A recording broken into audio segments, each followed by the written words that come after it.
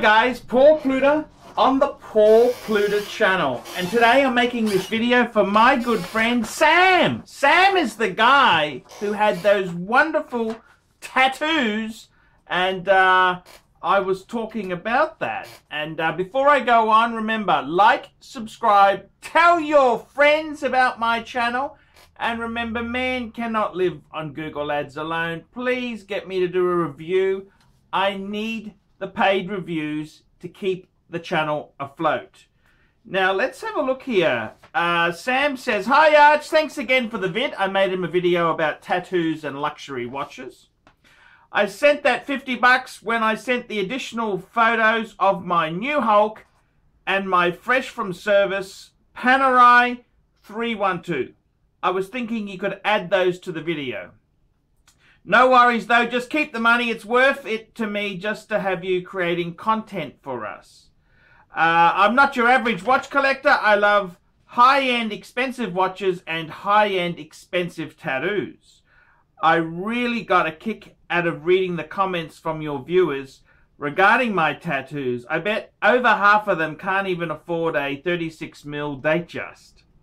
Keep the videos coming. Man, uh, my wife and I love what you do. Even my 10 year old son uh, watches uh, with me. He is a watch nerd also. He wears a tag. Let me know if you ever need anything. Sam. Thank you so much, Sam. So um, he sent me some wonderful pics there. He had his, uh, his Hulk, which I might add, he's had fitted with a, uh, a display back. A display back. And uh, this is quite fascinating because uh, the movement's not a finished movement. It was never meant to be a display back there, but it's quite a, uh, yeah, it's interesting. Very interesting indeed. And hey, why not? If it's your watch, do what you like with it. Uh, I got to tell you, I love, I love the photo. He sent me a photo of his PAM 312, which I got to tell you, I think that is a perfect, one of the best looking Panerais around. Uh, I love the look of the 312. Uh, I love how he's got his Mercedes in the background, his tattoo, his tattooed hand, and the watch on the wrist. And it, it, uh, I ain't gonna give him no trouble. He's a cool guy. And, uh, I gotta tell you, this world we live in, see, we don't have to fit the stereotype if we're into tattoos, we're bikers or we're, we're broke. No, no, no. This world is such that you can be a multi-millionaire and rock the tattoos. And I got to tell you, they um they're very creative. He's got some beautiful ink, absolutely stunning ink, and uh, I love the Mercedes. Uh, absolutely stunning. I I love I love these pieces. These pieces really, really rock there. And uh, thank you so much for getting your son involved on the channel. It's, I reckon a Tag Heuer is a great place to start for a, uh, a kid. That's a great way. I mean, look, I, I, I, uh, I mean, I, I had a, I did a review yesterday of a Russian kid who's been given these wonderful watches, wonderful, wonderful watches and, you know, he, he, he was a nice enough kid, but I don't think you appreciate things if you have them given to you on a silver tray. I think it's much better off to have the struggle, to work for them, to understand you've got to put a bit of time into uh, achieving these goals there. It's not just, just, they're not just given to you. Society doesn't owe you a living. And uh, I, I think it's, look, he had a great collection. He was a nice guy, no problems. But um, I, I think it's better off to start off with affordable watches. And I mean, look, Tag Heuer for a kid is a great genre to start from. It's a great genre. And uh, if you buy them secondhand, you're really not going to do too badly because they, they are quite saleable. I mean, you can criticize Tag Heuer all you want. But um, I, I got to tell you, I got to tell you that um, they are very, very you know, they they are easy to sell. I, I always I used to buy the, the those Formula Ones years ago when I was uh, in the watch business. They always sold. They always sold. People wanted an inexpensive Tag Heuer, and uh, look, they are what they are. They're, they're not Rolex, but hey, they're at a different price point. And uh, give the kid a break. Give the kid a break. I think Tag Heuer is a great way to go. I actually do like some of the, the current tags now. I mean, you cannot...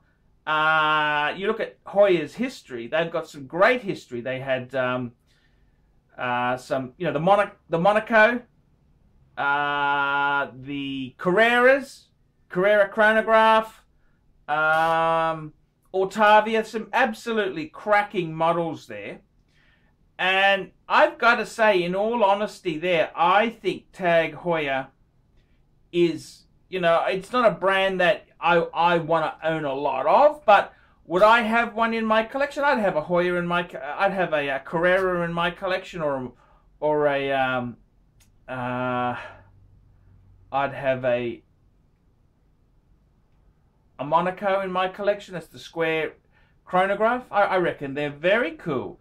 They're um, look. There's some pieces I don't like. There are some pieces I think are pretty cool. So uh, Tag Heuer itself, um, for a young kid, 10-year-old son, hey, that's perfect brand, perfect intro into watches. And uh, you can trade up and uh, into, into you know, Omega, Rolex down the track. And uh, it's good. I reckon it's good for kids to have a bit of a struggle and work out. Hey, you got to earn these things. It's a great role model, and um, I got to tell you, I love the ink. I really do love the ink. If I wasn't so fat and had let myself go, I'd I'd, I'd get a bit of ink myself. I would really, I would seriously consider getting some ink.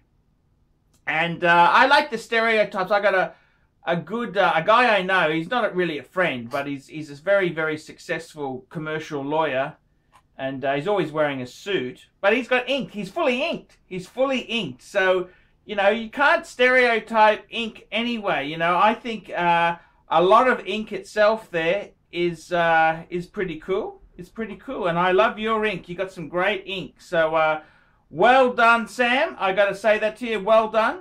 Uh, I love the 312. That is a, in my opinion, that is kind of the the kind of uh, Panerai I'd love to get. I also love the PAM 111, which is basically uh, just a very simple manual wind, no date, sub-second at 9, or a 112 with no sub-second, just minute, hour. I think that is just gorgeous. Uh, the 312, I gotta tell you, I actually do like. I think that's a classic, gorgeous Panerai. And uh, I love the Hulk. I love the Hulk. What do I think? What do I think of that display back? Man, I gotta tell you. What do I think of the display back? Um, it's kind of cool. It's kind of cool. You may, must make sure you always keep the original back. But uh, it is pretty cool. It is pretty cool. Would I do it myself? Probably not.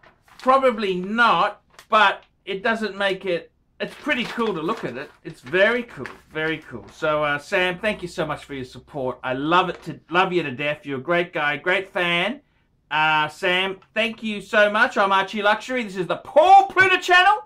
Tell me, guys, what do you think of that?